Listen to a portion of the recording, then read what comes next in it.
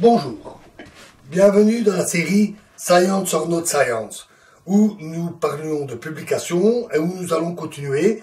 Mais on a parlé des modèles économiques, économiques, parlons un peu du prix rapidement. En 2004, une étude a montré que les revues de médecine avaient un prix de revient pour la première revue imprimée qui variait entre 250 et 2000 dollars, selon en général la, renommée de la, de la maison d'édition ou de la revue. C'est assez considérable. Depuis 1980, on constate une augmentation continuelle du prix des abonnements. Ceux-ci sont devenus une charge assez lourde pour les laboratoires euh, et pour les universités, puisque cette augmentation du prix des abonnements est bien supérieure à l'inflation générale. Et pour les petits laboratoires ou pour les petites institutions, cette charge peut même être rédhibitoire. Il n'est donc pas très étonnant que, rappelez-vous, nous en avons discuté, qu'il y ait des discussions pour offrir un accès libre, gratuit à l'ensemble des publications, l'open data, vu ses prix exagérés. Alors, qu'en est-il également de la propriété intellectuelle? Alors là, c'est très différent des maisons d'édition traditionnelles. Les droits d'auteur Rappelez-vous, nous avons dit que les auteurs n'étaient pas rémunérés. Et par contrat, les droits d'auteur sont légués à la maison d'édition. L'auteur garde toutefois certains droits. Par exemple, il a la possibilité de publier euh, son article sur un site personnel. Mais s'il veut reprendre tout ou partie de l'article dans une publication papier, par exemple dans un autre livre, dans un livre ou dans une autre revue, alors il doit demander une autorisation. Ce qui d'ailleurs passe parfois assez mal, puisque un auteur a dit c'est mon article et je dois demander l'autorisation pour le publier. Ben, le système est prévu comme ça. Alors, le fond, c'est-à-dire la matière de l'article, reste propriété de l'auteur, systématiquement. C'est très important, puisque le contenu de l'article, le fond de l'article, peut conduire, par exemple, à des brevets ou à des prix. Les idées et concepts développés dans l'article peuvent être pris par n'importe quel auteur, à la condition expresse que celui-ci cite l'auteur d'origine dans ses références. Justement, supposons que vous vouliez publier un article. Vous avez fait des travaux, vous avez découvert quelque chose, et vous voulez le publier. Alors comment faire? Alors, si vous faites partie d'une institution, université, laboratoire, en général, ce n'est pas un gros problème parce que vous êtes dans un cadre où on, vous a, on, va vous guider pour cette publication. Le problème se pose plus si vous êtes indépendant et si vous avez une formation autodidacte. Mais dans ce cas-là, il est toujours possible de publier. La première chose qu'il faut faire, c'est trouver une revue qui convient à votre article. C'est-à-dire une revue dont la spécialité correspond au contenu de votre article. Pour ça, c'est facile parce que toutes les revues ont au moins une vitrine sur Internet.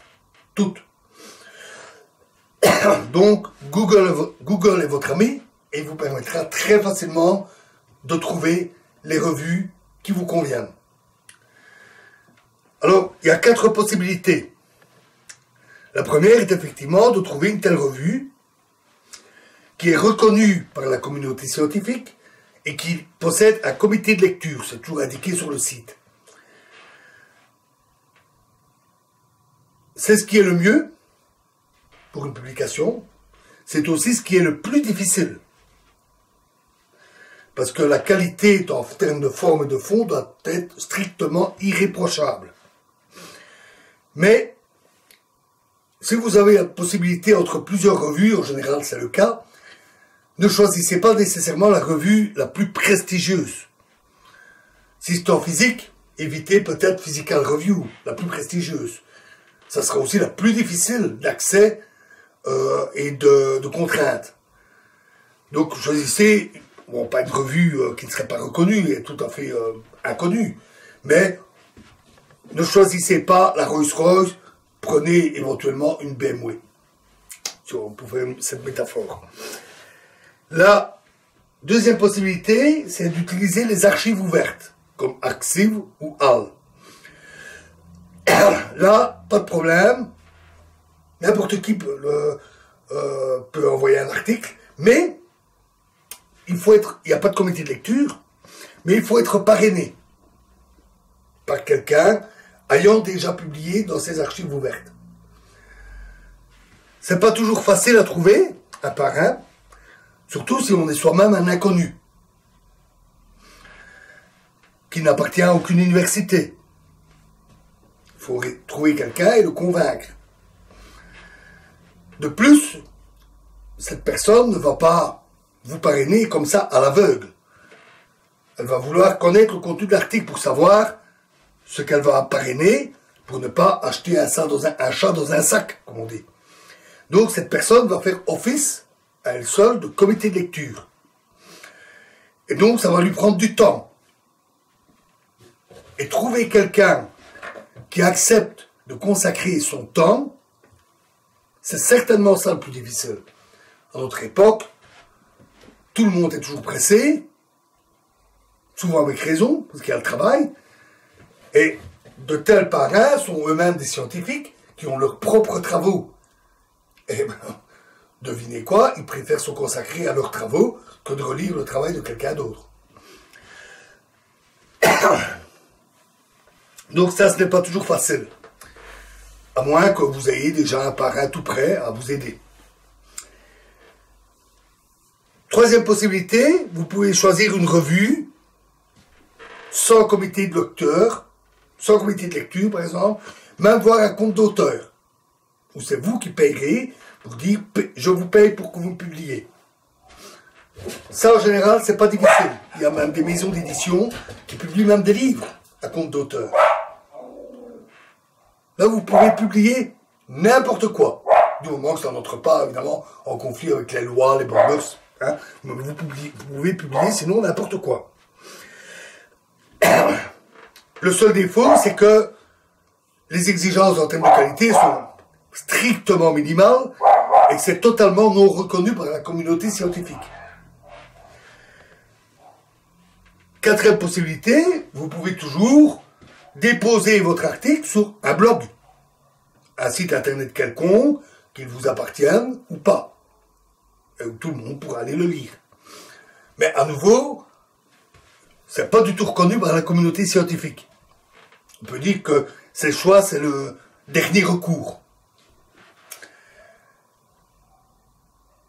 Donc, si vous choisissez les revues et les archives ouvertes, en cherchant, je ne peux que vous conseiller, surtout, de bien lire les conditions. Sauf exception, n'importe qui peut publier s'il remplit les conditions. Mais lisez bien les conditions qui expliquent comment présenter un article, sous quelle forme, sous quel format, si vous l'envoyez par Internet, quelle référence devez-vous donner, il faudra vous inscrire en donnant votre nom, adresse, profession, s'il y a lieu, hein, toutes les informations nécessaires, ainsi que euh, des, informations ou accepter l'équivalent d'un contrat. Rappelez-vous que vous léguez vos droits d'auteur à la société, à la maison d'édition. Ensuite, l'article humain. Bien sûr, il faut l'écrire. Il ne suffit pas de vouloir publier, il faut avoir un article à publier. Alors celui-ci a une forme et un fond. Donc la forme, c'est sa présentation. Et la présentation, la forme est très importante parce que c'est la première chose que les gens verront et c'est à travers la forme qu'ils accéderont au contenu de l'article. Donc la présentation doit être claire, bien aérée, compréhensible, éviter les phrases alambiquées, et éviter les phrases trop longues. La grammaire et l'orthographe doivent être irréprochables. Et quand il s'agit de revues avec comité de lecture reconnu par la communauté, cela devra être fait en anglais. éventuellement, si l'anglais n'est pas votre langue maternelle, rédigez en français et demandez à un ami ou une connaissance de traduire. Et vérifiez, c'est facile, sur Internet, la traduction des mots un peu techniques.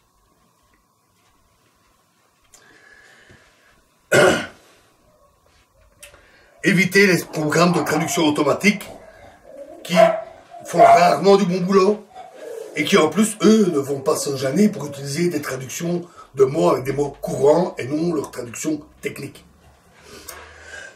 L'article doit aussi être bien structuré, avec une introduction, un corps divisé en autant de parties que nécessaire, et des conclusions. Et surtout, à la fin, des références, c'est-à-dire des euh, références à d'autres articles, si possible même publiés sous comité de lecture, mais ce n'est pas une obligation, puisque, rappelez-vous, nous en avons parlé, il y a toujours à, tout travail, il y a un travail bibliographique indispensable. puisque votre article va forcément parler de quelque chose, partir d'un point de départ qui ne sera pas de vous. Et donc il faut citer d'où ça vient. À ce stade, pour la forme, je conseille toujours de se faire relire par un ou plusieurs non-experts, monsieur et madame tout le monde. Celui-ci va rien comprendre au fond de l'article, ça n'a pas d'importance. Il sera même plus concentré pour lire la forme de l'article. Et donc de juger en particulier, est-ce que c'est clair, est-ce que les phrases sont compréhensibles, peut-être pas leur sens, mais leur, structure euh, grammaticale, leur orthographe, leur ponctuation, etc. Sur le fond, et le fond est évidemment capital aussi, puisque c'est le but de l'article, c'est de présenter un sujet, des résultats scientifiques. L'article doit être complet et rigoureux, précis, en tout point. Il faut toujours mettre en avant le quantitatif avant le, qualitatif. Tout doit parler de grandeur quantitative, chiffrable. Chiffrable, chiffré, mais pas nécessairement, mais chiffrable. Des grandeurs mesurables, des choses pondérables. Les concepts flous, laissez tomber. Le quantitatif d'abord.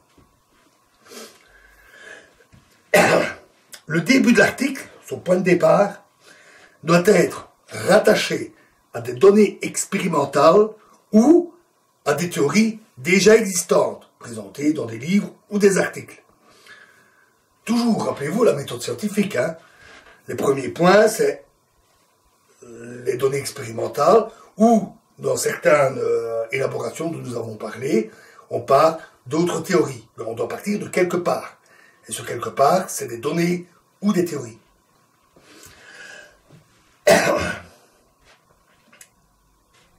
Le développement de l'article doit être mis en équation. Les mathématiques, je parle ici de physique, bien sûr. Les la théorie, ou tout ce que l'on développe, doit être mis en équation. Et si c'est possible, ce n'est pas toujours possible, ça dépend du sujet, mais si c'est possible, les résultats doivent être chiffrés.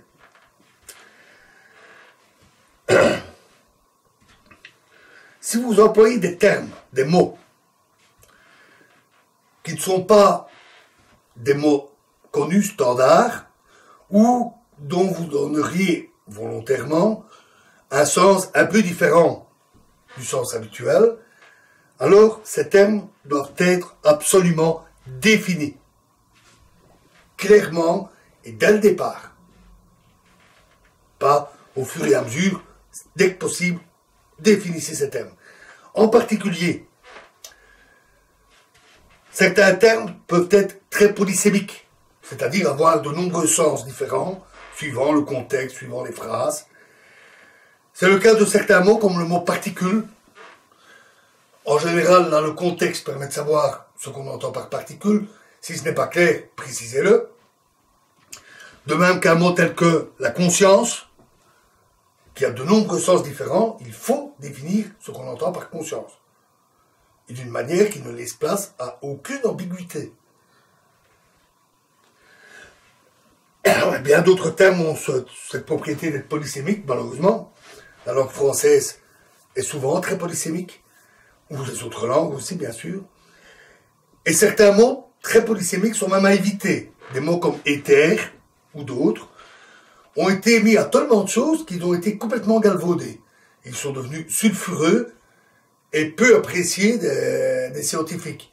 Le simple fait de voir certains mots risque de faire qu'ils rejettent l'article. Évitez-les, tout simplement.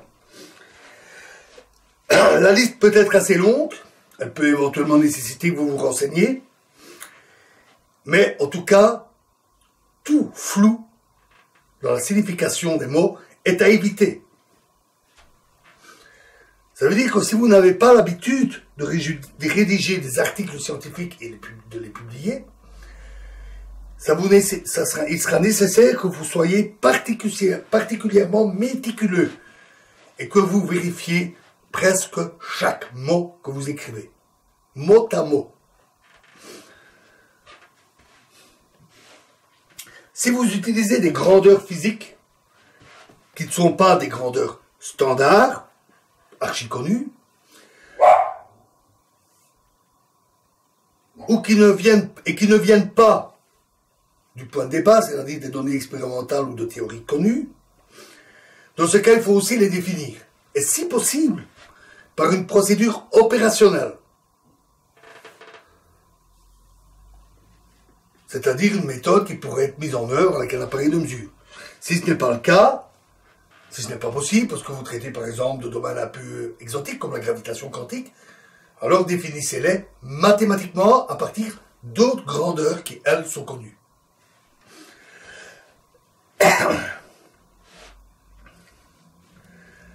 Pour tout ce que, qui vient de l'extérieur, c'est-à-dire les données expérimentales, les théories connues, l'un ou l'autre élément, l'un ou l'autre terme ou concept qui viendrait d'ailleurs, vous devez le référencer. Dire d'où ça vient, dans quel article vous avez lu ça, dans quel livre. Si vous ne vous en souvenez plus, ça fait partie de votre culture générale, il y a des choses comme ça, eh bien cherchez un article qui en parle, lisez-le attentivement, pour être sûr que ça correspond à ce que vous avez en tête, et citez cet article. Mais il ne faut pas qu'on ait, même ne fût que l'impression que quelque chose est tombé du ciel, dans votre article, sans savoir d'où ça vient. Ou vous montrez comment on part du début jusqu'à cet élément, ou vous indiquez une référence. À ce stade, l'idéal, c'est de se faire relire par un spécialiste ou des spécialistes. En tout cas, leur demander conseil. À nouveau, là, il y a une difficulté de trouver quelqu'un qui est prêt à y consacrer son temps. On ne lui demande pas ici nécessairement d'être un parrain, ce qui peut faciliter les choses, puisque il pourra éventuellement se contenter d'une lecture plus légère. Il ne doit pas se porter garant. Et vous pouvez faire appel à plusieurs personnes. Ou poser, demander l'aide sur des forums euh, spécialisés et qui acceptent de parler de travaux originaux. Ce n'est pas le cas de tous les forums. Et évidemment, dans ces cas-là aussi, faire confiance. Ne pas avoir l'attitude de dire Oh, je, veux vous en parler, vous demandez conseil, mais je ne peux pas vous dire exactement ce qu'il y a dans l'article parce que j'ai pas envie qu'on me vole mes travaux. Oubliez ça, hein. Comment vous pouvez demander de l'aide si quelqu'un ne peut même pas savoir de quoi, de quoi est fait votre article, quel est son contenu Il faut faire confiance. C'est inévitable. ces experts, ces spécialistes, s'ils pointent des lacunes dans votre article, des défauts, des erreurs, des parties qui seraient trop floues, imprécises, s'ils donnent des conseils sur la façon de rédiger telle ou telle partie, une règle d'or. On ne discute pas. C'est lui l'expert. Vous, c'est votre premier article, vous n'avez jamais publié. Lui, si.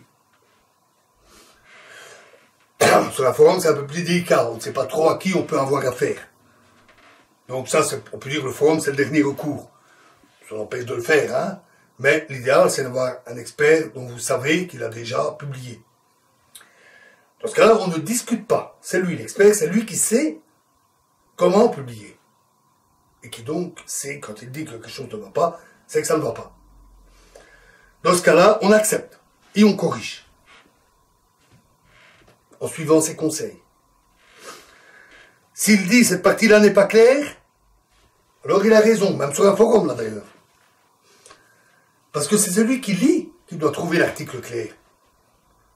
L'article est à destination de lecteurs qui doivent trouver l'article compréhensible, clair. C'est pas celui qui rédige qui doit trouver l'article clair, c'est celui qui le lit. Donc s'ils disent, si un lecteur dit oh non, ça c'est pas clair, alors c'est pas clair. Compléter, préciser, reformuler. Pire, si les lecteurs disent on ne comprend pas, alors l'article est mauvais. Ce n'est pas l'expert qui est mauvais, c'est l'article. Parce qu'à quoi ça sert? De pondre un super article, un formidable merveilleux article, exceptionnel, d'une grande avancée, si de toute façon personne ne le comprend Alors ça ne sert à rien de publier. Quel intérêt de publier quelque chose que les gens ne vont pas comprendre? Il faut donc en faire en sorte que l'article soit compréhensible. S'ils ne comprennent pas, demandez-leur c'est qu'ils ne comprennent pas. C'est peut-être pas le premier paragraphe ou la première section, ça sera peut-être certaines parties qu'il faudra alors remanier, mieux expliquer, compléter.